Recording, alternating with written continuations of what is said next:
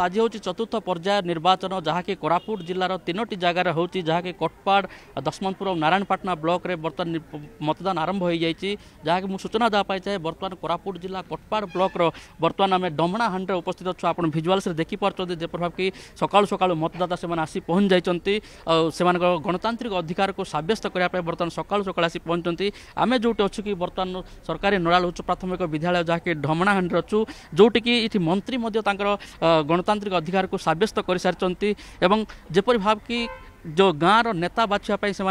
আসিছেন বর্তমান কড়া সুরক্ষা ব্যবস্থা মধ্যে বর্তমান চালছে তো মু এটি সূচনা দেওয়া চাহে যেপর কি কটপাড় ব্লকর সতেরোটি গ্রাম পঞ্চায়েত অছি যাকি দুইশো অণচাশটি বুথ রয়েছে মোট চৌষটি হাজার নশো দুই জন ভোটর তাঁর মত সাব্যস্ত করবে তো মু এটি নিকটে আমার মন্ত্রী অনেক তাঁর পচার সে ভোট দান করে সারি ମ୍ୟାଡ଼ାମ୍ କହିବେ କି ଆପଣ ସକାଳୁ ସକାଳୁ ଆସି ମତଦାନ ସାବ୍ୟସ୍ତ କଲେଣି କ'ଣ କହିବେ କେତେ ଖୁସି ଅଛନ୍ତି କ'ଣ କହିବେ ବହୁତ ଖୁସି ଅଛି ଯେହେତୁ ଆମର ସମସ୍ତଙ୍କର ଅଧିକାର ଅଛି ଗଣତାନ୍ତ୍ରିକ ଅଧିକାର ଅଛି ସମସ୍ତେ ଭୋଟ ଦେଇ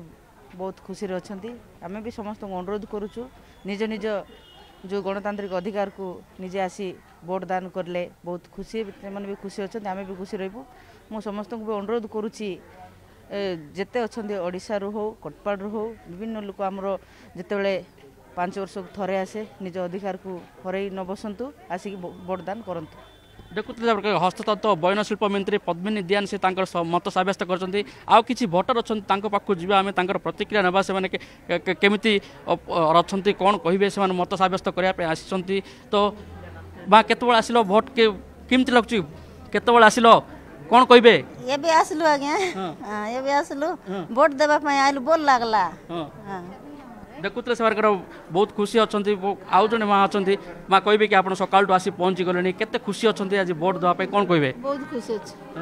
ভোট দেবু পাঁচ বর্ষ ধরে ভোট দেবু বহুত খুশি অছি তো সমস্ত লম্বা ধাড়ে দেখুন বর্তমান উপস্থিত অনেক সমস্ত কিপরিকি তাঁর মতাধিকার সাব্যস্ত করা সে আসি পৌঁছি যাই এবং মু এটি কোথাও চাহে যেপরিকি কড়া সুরক্ষা ব্যবস্থা মধ্যে মতদান সাব্যস্ত করা যেহেতু কৌশি অপ্রীতিকর পরিস্থিতি যেপরি উপজীবনী সেপ্রতি দৃষ্টি দিয়া যাচ্ছে